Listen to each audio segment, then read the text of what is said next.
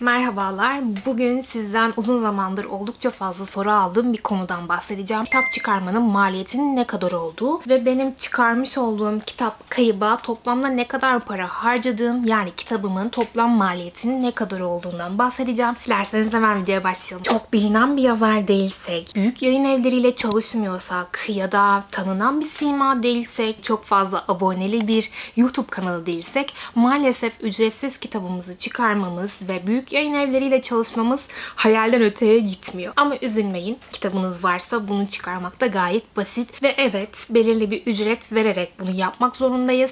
Ama ücretsiz olan seçenekler de var. Ben kitabımı KDE yayıncılıktan çıkardım. KDE yayıncılık biliyorsunuz self-publishing yani bireysel yayıncılık. Kitabın basılması için bir para istenmiyor. Ama kitabın edisyonu, iç dizaynı, kapak tasarımı bunlar teknik isteyen bilgiler. Bu sebeple bunları eğer siz yapamıyorsanız bir ajansla çalışmak zorunda kalıyorsunuz. Eğer ajansla çalışırsanız da belirli bir para ödemek zorunda kalıyorsunuz. Orada tabii ücretli oluyor. Şimdi yayın evlerinin fiyatlarından bahsedeceğim. Kitabınız var, çıkarmak istiyorsunuz. Yayın evlerinize dosyalarınızı yolluyorsunuz. İlk aşamamız buydu. Ama reddolunuyor. Ücretsiz basan yayın evleri değil. Ama çoğu bilinen yayın evi aslında e, parayla kitabınızı basıyor. Bunun fiyatları nelerdir? Hani yayın evi ismi söylemiyorum ama belli başlı yayın evlerinin ortalama fiyatlarından bahsedeceğim. Bundan bir sene önce ben araştırma aşamasındayken çoğu yayın evine sormuştum ve fiyat almıştım. İşte 3000 lira olan da var, 4000 lira olan da var. Hatta o zaman dolar yükselmeden 5-6 bin diyen de vardı. Bunların içerisine ne giriyor? 1000 adet kitabınızda basıyorlar. Kapak tasarımı, iç dizaynını yapıyorlar. Kitabınızın dosyanızı bayağı böyle basılır şekilde hazırlıyorlar.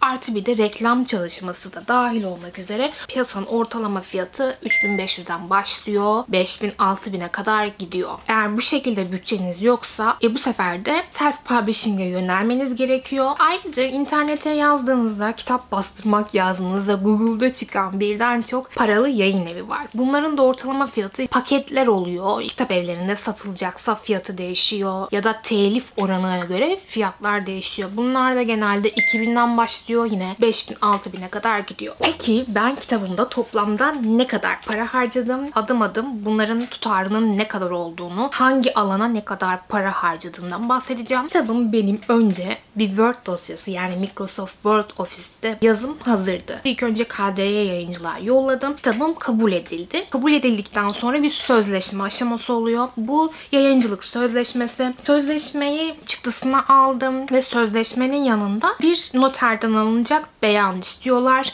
Bu noter beyanı için 2020 yılında ki ücretiyle 80-90 lira civarı bir şey ödemiştim. Sonra sözleşmeyi de kargoyla ve beyanla birlikte yayın evine yollamam gerekiyordu. Kargo ücretini de dahil ediyorum buna. Kargo ücreti de 10 lira diyelim. Sonra edisyon aşaması vardı. Onun için de kitabın metninin dil bilgisi kurallarına uygun olup olmadığını yani redaksiyon dediğimiz son okumasının yapılması gerekiyordu. Redaksiyon için Biyonluk sitesi muhteşem. Ben çoğu kitabımın hazırlık aşamasını Biyonluk sitesindeki freelance çalışan arkadaşlarla hazırladım. Böyle bir arayış içerisindeyseniz Biyonluğa mutlaka bakın derim. Son okuma için bir arkadaşla anlaştım. E, son okumayı toplamda bana 50 liraya yaptı. Tabi bunlar geçen senenin maliyetleri. Tabi fiyat skalası değişebilir ama güvendiğiniz biri ve uygunsa gerçekten süper fırsattır. Kaçırmayın. Sırada kitabımın iç dizaynı yani şu gördüğünüz böyle dizaynı işte sayfa düzeni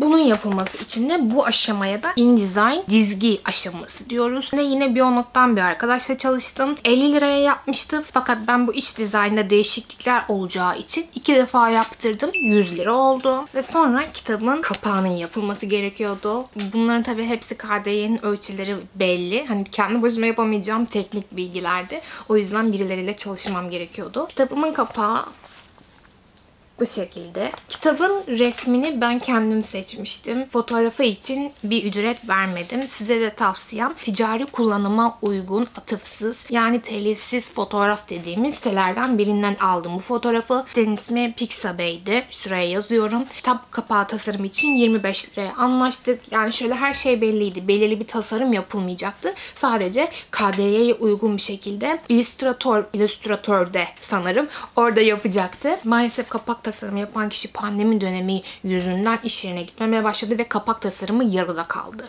25 lira öyle çöpe gitti. Sonra başka bir arkadaşla anlaştım. Bir yayın evinin kapak tasarımcısı olduğunu söylemişti. O da maalesef e, sonradan ban eklenecekti vesaire müsait olmadığını söyledi.